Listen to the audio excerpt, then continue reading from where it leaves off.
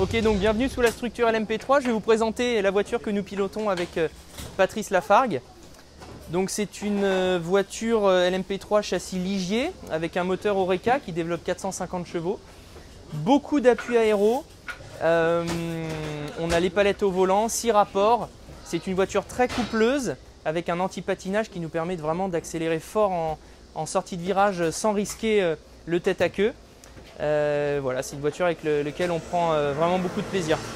Alors nous sommes actuellement dans le box de la LMP2, je vais vous expliquer un petit peu les grosses différences. D'abord c'est la puissance puisqu'on passe de 450 à 600 chevaux sur cette LMP2. La voiture a des dimensions différentes, elle est plus longue, elle est plus large, elle est également plus légère, on a beaucoup plus d'aéro. Euh, les freins carbone qui lui confèrent vraiment des mm, grosses performances bah, en termes de, termes de freinage. Les distances de freinage sont à peu près les mêmes, mais les LMP2 arrivent beaucoup plus vite. Du coup, c'est ce qui fait la différence. Euh, après, ça reste toujours euh, trois pédales. On freine souvent du pied gauche.